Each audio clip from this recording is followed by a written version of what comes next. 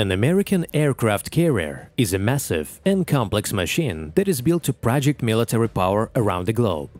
These ships are designed to operate as mobile air bases, allowing the United States to launch airstrikes, provide air cover, and respond quickly to global crises. The United States has a lot of aircraft carriers for a few key reasons. First and foremost, aircraft carriers serve as a powerful symbol of military strength and projection of power around the globe. They are mobile air bases that can be deployed to any location, allowing the US to respond quickly to global crises and maintain a strong presence in key regions. Secondly, aircraft carriers are a versatile and flexible platform for military operations. They can be used for a variety of missions, including airstrikes, reconnaissance, and humanitarian aid. They also serve as a launching point for fighters, bombers, and other aircraft, giving the US a significant military advantage in a range of scenarios.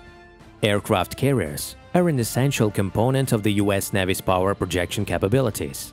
With their ability to move around the world quickly, they provide a rapid response force that can be deployed to any location. This allows the US to respond quickly to global crises and maintain a strong presence in key regions around the world. Currently, the largest aircraft carrier in the world is the Gerald R. Ford class aircraft carrier, USS Gerald R. Ford CVN-78. The carrier is named after the 38th President of the United States, Gerald Ford, and is first of its class. USS Gerald R. Ford is designed to be the most advanced aircraft carrier ever built with a number of new technologies, including an electromagnetic aircraft launch system, EMALS, and an advanced arresting gear AAG system, which allows for the launch and recovery of aircraft at higher speeds and with great accuracy. The ship also has a larger flight deck and an improved weapons handling system.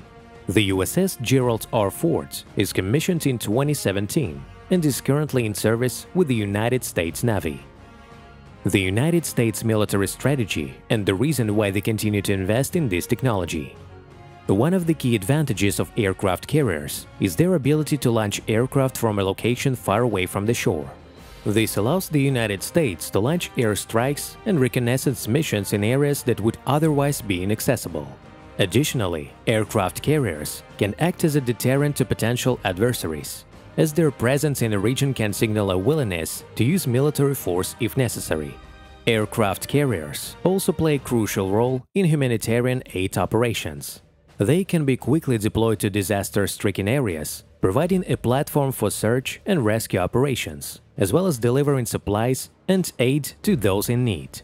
The United States Navy's aircraft carrier fleet is continuously modernized to ensure they remain the most advanced in the world.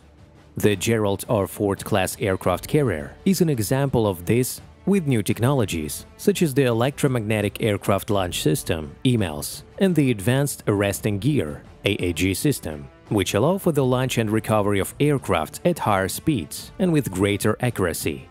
These technologies not only improve the operational capabilities of the carrier, but also increase the safety of the aircrews. Aircraft carriers are a vital component of modern naval warfare and the United States has long been a leader in their development and use. In this article, we will explore the history of aircraft carriers and why there are so many of them in the United States.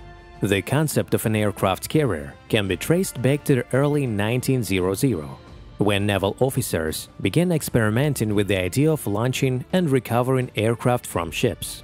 The first successful launch and recovery of an aircraft from a ship took place in 1910 when Eugene Ely fly a biplane off the deck of the USS Birmingham. However, it wasn't until the 1920s and 1930s that aircraft carriers began to be developed as a true weapon of war.